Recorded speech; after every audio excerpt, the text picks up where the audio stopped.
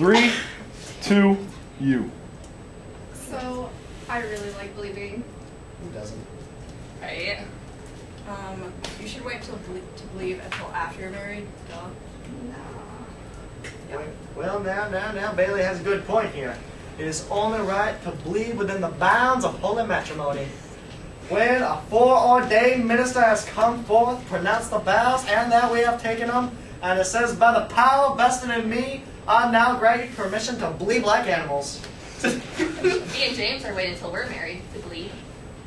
Good for you. You should too, It's I a think lot it's a little better. late for that.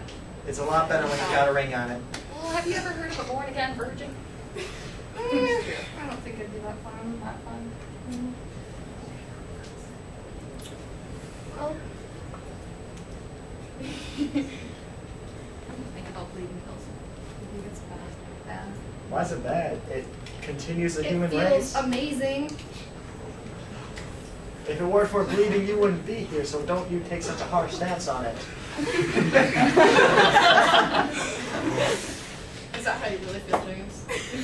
That's how the world is. Same reason you're here, she's here, I'm here, she's here, we're all here I because don't of want to bleebing. think about my parents leaving.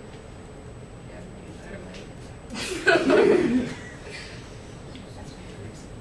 fast forward 10 years. That's where, get out of here now. Oh my god.